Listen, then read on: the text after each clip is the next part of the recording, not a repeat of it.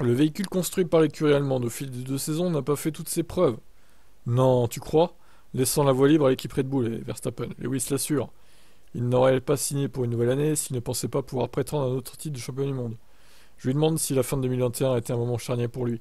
Cette année-là, le, titre se joue lors de la dernière course, sur le dernier tour du dernier circuit, dans les dernières minutes. Lewis est bien reparti, est bien parti pour remporter son huitième titre. Au tour final, il a 11 secondes d'avance sur Verstappen, sauf qu'au terme d'un arbitrage aussi confus qu'inédit dans l'histoire de la F1, le directeur de la compétition décide de relancer la course pour un dernier tour. Son sort est scellé. Verstappen vient de se faire poser les pneus neufs et Hamilton est avec des gommes usées. Il n'a plus aucune chance de l'emporter. Alors du coup, on vient à la news là. Est-ce que tu t'es fait voler, Lewis? Évidemment, vous connaissez l'histoire. Mais ce qui avait de beau dans ce moment, c'est que j'ai choisi. Et ce que j'ai choisi de retenir, c'est que mon père était à mes côtés, notre relation a eu des hauts et des bas, et le jour le plus difficile de ma carrière, il était là.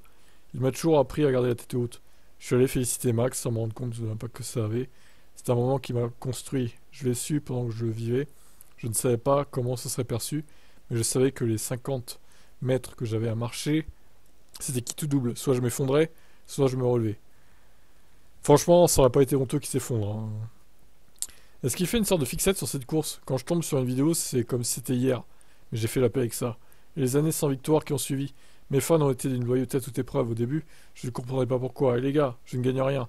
Mais je me suis rendu compte que ce n'est pas facile de s'identifier à quelqu'un qui finit toujours premier. C'est plutôt l'inverse qui inspire. D'autant qu'il n'y a pas encore eu de retour au sommet pour l'instant. Oui, pour l'instant, voilà une bonne leçon à retenir de ces aventures à Hollywood.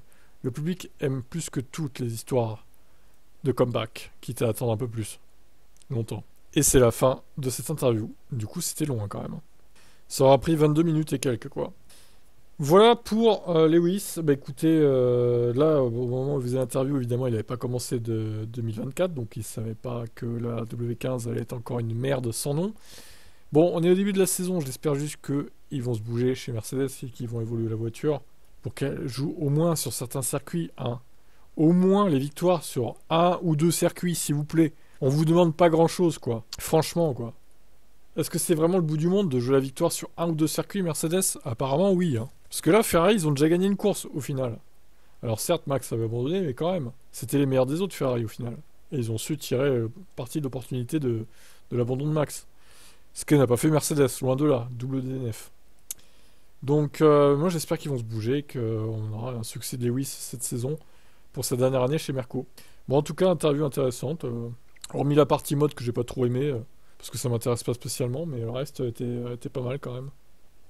Qu'avez-vous pensé de toutes ces interviews Enfin de cette interview globale du coup? Allez bye